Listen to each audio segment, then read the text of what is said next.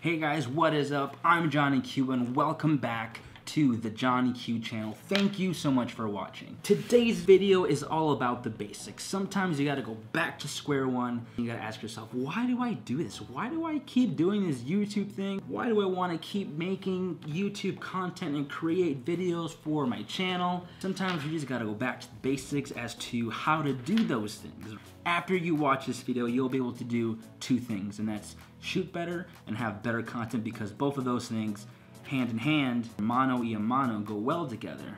All this coming up after the intro video in three, two, one, psych! Come on, guys, you know me. You know that we have not made an intro video yet. You know that my YouTube channel needs an intro video. But for now, no intro video. Just a good looking guy in a black leather jacket speaking to a camera. That was so dumb. A camera, a tripod, a lens. Oh yeah, and then I also forgot you get a microphone because you need something to capture the audio. You can't just really use the microphone on the body because it won't sound good. As I've learned from experience, you live and you learn. That's why I'm making this video. For people who need to know what are the essentials, what are the vlogging essentials I need to be a better content creator, to be a better filmmaker, to be a better YouTuber. All of these tools, like these three things, lens, tripod, and body, are literally the essence of a vlog. Like you need these things to start making a vlog, right? And so let's say you went and you spent the money you got what you wanted, and you're thinking, wow, I still, my videos aren't that good. They're not turning out like him. They're not turning out like her videos. What am I doing wrong? We have the same gear. We have the same setup.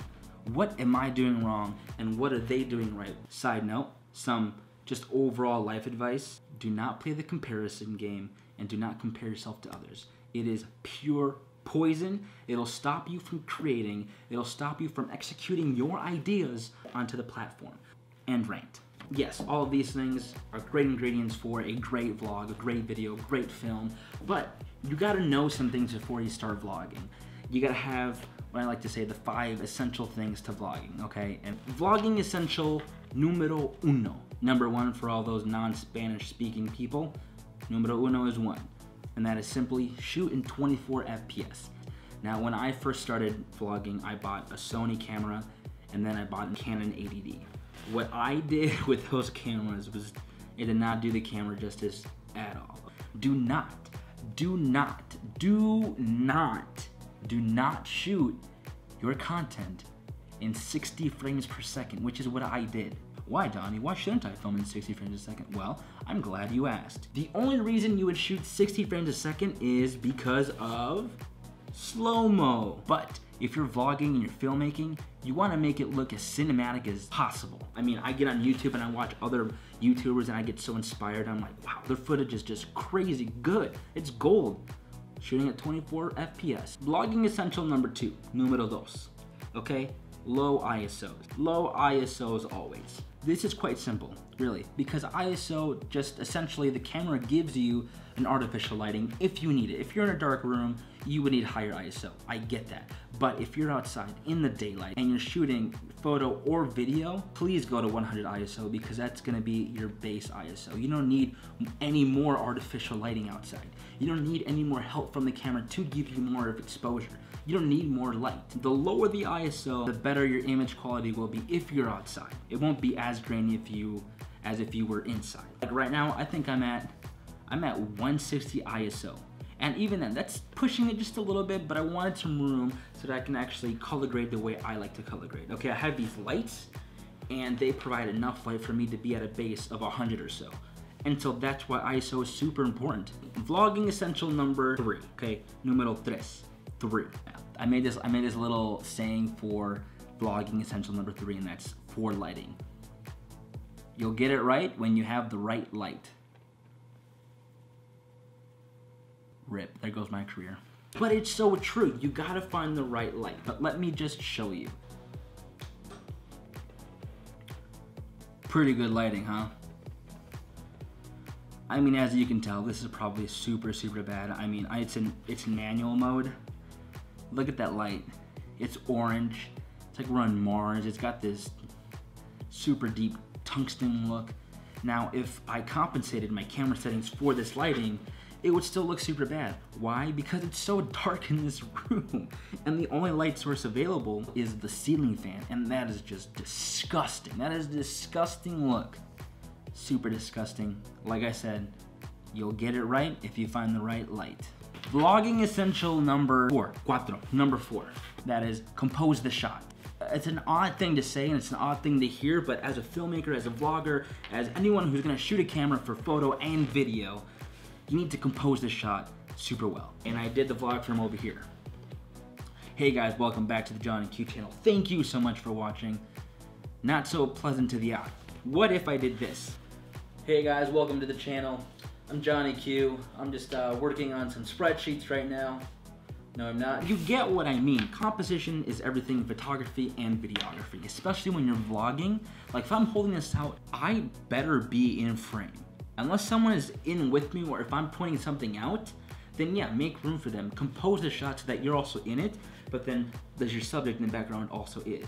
But if it's just you talking to the camera, your composition of your frame, of your shot needs to be right on. So if I frame myself kind of in the middle of my space from the wall, from this table, to the camera and the lens, this is a pretty well composed shot. Remember, you're vlogging, you're creating, you're trying to get your ideas out into the real world, you're trying to execute. So why not give the audience the best thing that you can by framing and composing your shots just for them? Lastly, number five, numero cinco. And yes, I'm fluent in Spanish if you haven't already. If you can't tell, I'm brown, I'm somewhat Mexican looking, and I can speak Spanish. So, whatever. This is something that I had to learn kind of just recently. I knew that I needed to do this just from the get-go when I got my cameras, but I was scared or I was just, I didn't really know if I was gonna be able to make changes on the fly like I'd see other YouTubers do, but it's shoot in manual. Okay, as tempting as it is to buy a really nice camera and let the camera do the work automatically when you shoot in auto, yes, in some respects it can look good, but the thing is you won't be able to control your setting. You won't be able to control the creative output from the camera body to the audience. You just won't be as in control as you could be if you shot in manual. Shooting in manual gives you the control. Shooting in manual lets you be creative, lets you bring out shadows, that lets you create shadows, it lets you bring out subjects and it lets you hide subjects. Shooting in manual kind of gives me this feel right now of of kind of this, you know, dark on this side, and yet, and yes, it's because of the lighting, but like, there's still light over here. Look at this. There's still light over on this side, you know, as well as in the back, but on because of my ISO and because of my aperture and shutter speed in manual, I'm, able to actually create this this cool feel and this really awesome vibe right now. And shooting in manual actually taught me more about my camera, taught me more how to use my camera, as I use it out in the real world, as I'm vlogging, as I'm filming. It just takes a little bit getting used to with, you know, where your ISO is. If you're, like we said, you're outside, you're at 100 ISO, you go inside and it's dark and you gotta bump that ISO, but everything else is in place, like shutter speed and aperture. Yeah, you just gotta go boom, boop, boop, boop, and boom, your ISO is good to go. You just gotta know where the placements of those buttons are on your camera and you, you'll be able to master it.